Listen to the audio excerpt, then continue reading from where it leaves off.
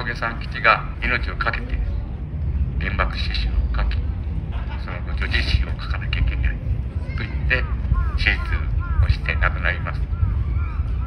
それから70年経って今峠さんは何と思ってるだろうなと思いました。多分今の状況を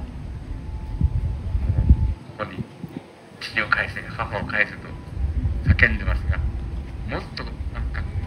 悲しみで見てるんじゃないかな。そんな気がしてきました。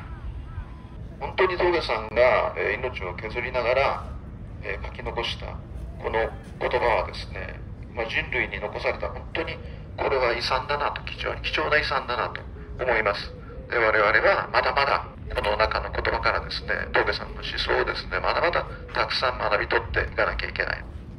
殺され人たちは帰らぬ以上。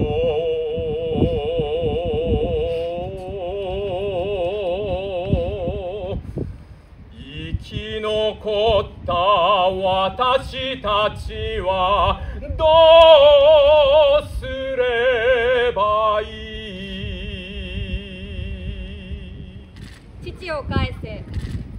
母を返せ。年寄りを返せ。子供を返せ。私を返せ。私につながる。人間を返せ。人間の人間の世のある限り崩れぬ平和を。平和を返せ。